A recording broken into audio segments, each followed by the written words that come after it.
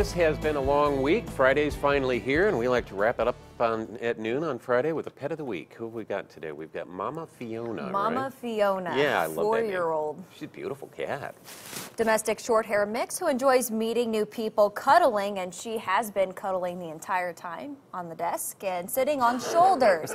Fiona would do best in an active home where she can run and play all day. Fiona is good with other cats, and if you want to meet Fiona, Almost Home's open till 6. And that's our pet of the week for today. Thanks for joining us. We'll be back with the latest live.